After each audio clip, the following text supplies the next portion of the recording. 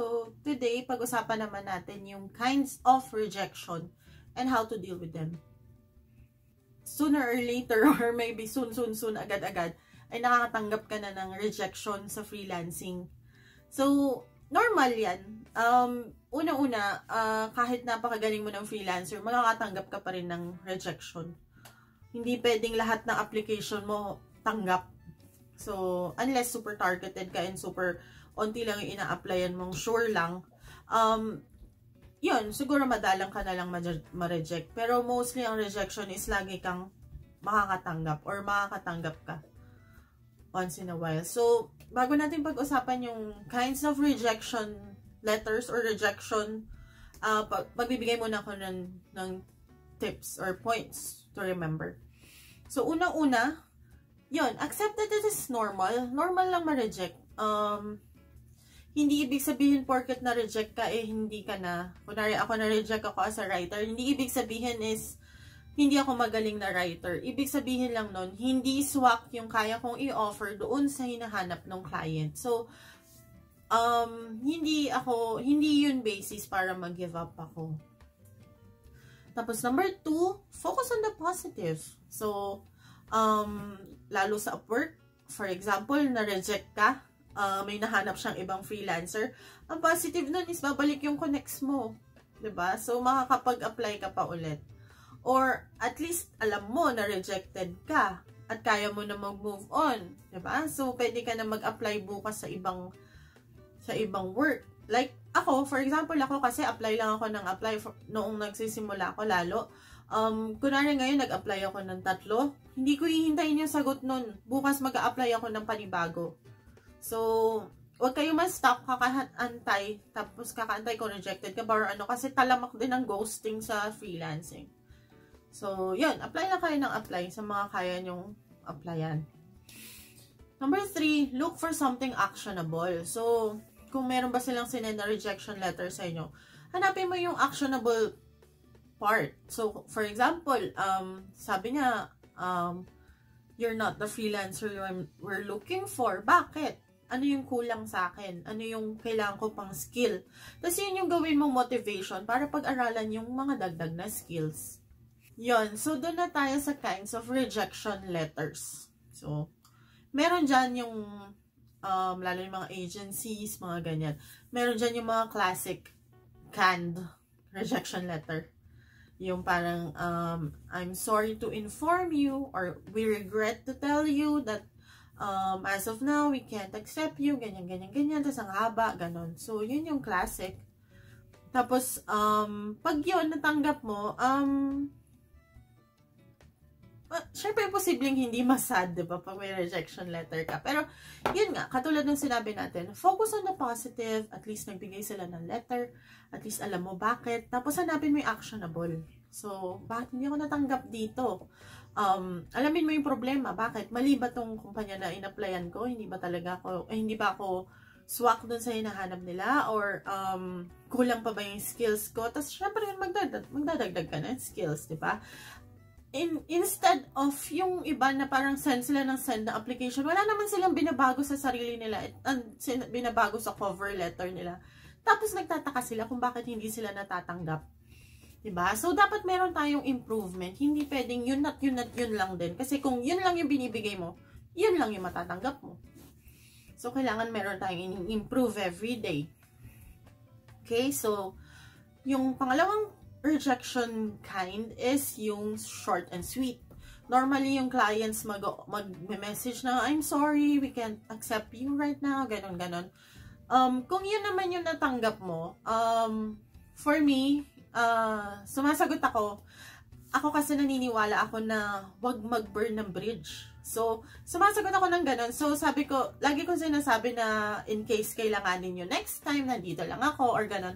Basta wag ka mag-burn ng bridge, na wag ka mag, mga away. Siyempre, pag inaway mo yun, hindi ka na i-consider next time nun, ba diba? So, mas maganda kung um, bigyan mo sila ng open door na parang kahit na meron na sila nakuha freelancer, pag nangailangan pa sila, pwede ka pa. So, since may conversation kayo doon sa Upwork, syempre pag nagalit, nag-away kayo, ibablock ka niya, ba diba? So, since may conversation kayo sa Upwork, pwedeng magkaroon ng chance na balikan ka na. Ako, meron ako several clients na ganun, ganun ang nangyari. So, parang um, may hiner silang bago, tapos um, hindi nag-workout, so babalik sila sa akin.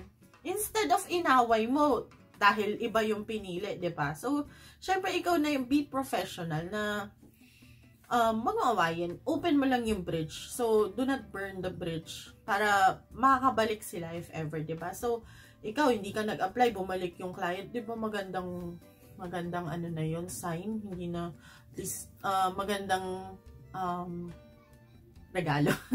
Gift. Okay. So, yun. Basta ganun. So, magandang way yun. Huwag mag-burn ng bridge. Okay. So, number three is feedback rejection. So, may mga iba na talagang nag-take time sila na sabihin kung bakit hindi ka nila matanggap. So, for example, itong mga, um, itong mga samples mo, merong mga grammar errors, may, um, I suggest na you use Grammarly or Ginger keyboard, ganyan. So, para, meron silang parang reject, ay meron silang parang feedback na kung pwede, kung ano yung pwede mong baguhin. So, ikaw, on your part, sa next na cover letter na isi-send mo, syempre, babaguhin mo na yung mga sinabi niyang feedback. So, hanapin mo yung grammar errors dun sa, sa samples na sinend mo or um, i-proofread mo pa, ganun. So, kung ano yung sinabi ng feedback, yun yung gawin mo para makorek mo yung cover letter mo, ba diba? So, pag-reply mo rin doon, i-thank you mo siya doon sa feedback na binigay niya. Tapos sabihin mo, I will make sure na gagawin ko to. Thank you. Tapos, thank you for taking time to tell me, ganon. Tapos, i- open mo rin yung door. Wag mo ring big, uh, wag mo ring isarado yung pinto. Wag mo i-burn yung bridge na if ever kailanganin nyo next time at baka na-improve mo na yung sarili mo, open ka to work for them in the future. Ayun. Tapos yung number four, kind of rejection is yung harsh. Yung parang may racism or um, anong tawag doon, yung, yung parang nang mamaliit, na parang, oh, Filipino ka lang, bakit ganyan yung rate mo, ganon. So, yung mga ganong clients, wag nyo nang papansinin yung ganon, kasi, minsan misinformed lang sila eh, kung, kung, kung papatulan yung mag escalate lang yan. So, good, good way yan para i-educate yung client, but kung mainit pa yung client, mas maganda na wag na lang siyang pansinin ang um, never kayong magpo-post sa Facebook, wag yung parang minalit ka ng client tapos para kang um, diniscriminate ka ng client tapos ipopost mo pa sa Facebook tapos ipopost mo pa yung sagot mo. So, walang magandang mararating yung pag-post sa Facebook at sa groups ng ganyang client. So, yung mga ganyang client, may mga ganyang client talaga, hindi na pinapansin yung mga yan block mo siya sa Skype kung saan kayo nag-usap. Block mo siya sa Upwork. Report mo sa Upwork. Ganon. So, mas magandang let other people deal with that na lang. Kunwari, yung Upwork. Iyayaan mo na sila. Isumbong mo lang siya sa Upwork. Pero ikaw, sa sarili mo, ini ano lang, parang sakit lang sa ulo yung bigay ng client na yan. Huwag mo nang pansinin. Huwag mo nang sagutin. Sabi mo, okay, thanks. Okay, go. Okay, thanks, bye. Ganon. So, um, it's not worth your time So, meron talaga mga clients na ganyan and hindi mo kailangang sasihin yung sarili mo kung bakit ka nakatanggap ng ganon. And hindi mo kailangang iinit yung ulo mo for that. Okay? So, yun. so, yun. Um, dun tayo sa fifth part. Um, fifth kind of rejection. Ang fifth kind is yung ghosting. So, usong-uso yung ngayon yung ghosting, ba diba? So, kasi, on their part, sa part ng client, hindi naman nila kailangan mag hindi, hindi nila obligasyon na sabihin sa lahat ng rejected nila. Or for example, merong 50 freelancers na nag-apply sa akin, tapos nakata- nakakuha na ako ng kukunin kong isa. Hindi ko obligasyon sabihin dun sa 49 na wag na kayo mag-antay. May mga freelancers na nagpo-post sa Facebook groups na naiinis sila kung bakit hindi man lang sila sinabihan na hindi na sila tanggap, nag-aantay sila. So, instead of, ha, ano, instead of sharing negative feelings pang ganun, ang gawin nyo na lang, um, after 3 days, wala kayong natanggap na, ano, na, after one day nga ako eh. So, after 3 days, wala kayong natanggap na feedback from yung in-applyan nyo, edi mag-apply ka na bukas. Bakit mo pahahayaan yung sarili mo mag-antay doon, tapos maiinis ka pa, ba diba?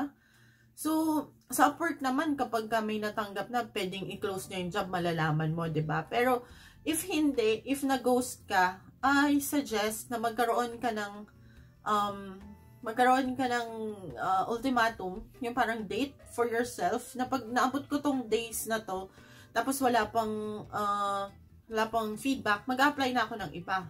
Or, for example, apply ako ngayon, tomorrow kung wala pa ako natanggap na feedback, apply ako sa iba. So, wag yung, wag yung isayangin yung oras nyo kakahintay. Kasi hindi obligasyon ng clients na sabihan kayo kung nakakuha na sila ng ibang freelancer. So, mas better na um, wag nang i, i, ano, kasi minsan naman busy lang sila, ganyan. Or, for example, nag-apply ka sa iba, tapos mamaya sumagot sila. Di, good din. Ma, may sagot ka. Hindi naman, hindi naman mahirap magsabi sa client, for example, na hindi rin naman sure na matatanggap ka na dun sa mga susunod na applyan mo eh, di ba? So, as a freelancer naman, right mo rin pumili ng clients eh. So, if ever man mag-apply ka bukas, kinakatakot mo na baka mag-apply itong in-applyan mo kahapon, edi mag-apply, edi mag-reply siya. Sorry, kinakatakot mo na baka mag-reply, edi mag-reply siya, edi sagutin mo. Hindi naman sure na makakatanggap ka dito. And kung matanggap ka dito, right mo pa rin tingnan kung ano yung work na gusto mong pagtrabahuhan, di ba? So, parang nag-open ka lang ng maraming doors. Huwag mong hayaan na yung ghosting is mag, ay magtigil sa'yo at mag-inis-inis ka pa mag-post. Ganun. So, have an ultimatum. Have have a set date na pag inabot mo to, apply ka na ulit or kinabukasan mag-apply ka na ulit. So, huwag niyong hayaan yung ghosting, yung uh, mag pigil sa inyo sa kaka-apply. Yan. So, yan lang yung kinds of rejection natin and kung paano natin i-deal and how to deal with it. So, ayun lang. Always on the positive. Kung wala namang magagawang mabuti, wag na i-post sa Facebook. Hindi valid ang reason na parang ipopost ko para wala na siyang mabiktima. So, first of all, hindi ka biktima. Ikaw yung nag-antay or whatever. Unless victim ka talaga. Pero, normal na rejection, you're not the victim. Hindi lang talaga kayo um, swak mag-work. So, yun. Um, mas maganda na instead of nakikipag-comment ka pa doon buong araw yung masasayang mo, uh, mag, gamitin mo na lang yun para mag-apply sa mga next jobs, ba diba? soygun.